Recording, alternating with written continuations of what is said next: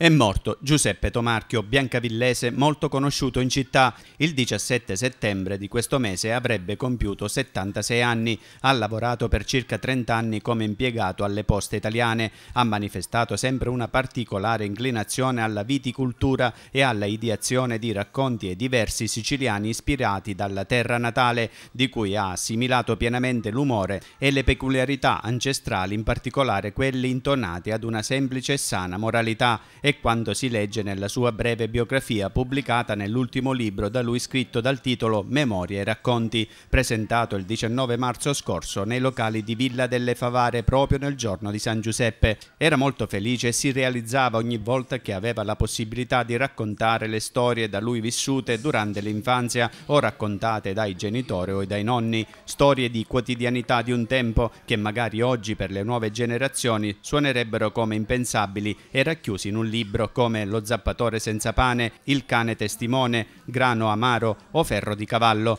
A quei tempi mio padre con tutti i suoi amici erano sempre a parlare di cose importanti ed io ero ad ascoltare e ascoltando a distanza di tempo mi vengono tutti in mente, mi dimentico quello che, ho fatto dieci minuti fa, le cose di 70 anni fa ci penso.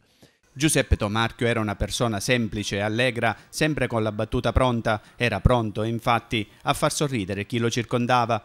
Era molto attaccato ai ricordi dei nonni e dei genitori, infatti nel libro ci sono dei capitoli proprio dedicati a loro, ed ecco alcuni versi dedicati alla madre. Madre Agata, lavoro lontano e ti penso sempre, ogni momento. Ero piccolo, mi tenevi per mano, adesso son qui, è tutto un tormento. Alla scuola non ero il migliore, però ti ho scritto una poesia, l'ho scritta con il cuore, dedicandola a te, madre mia.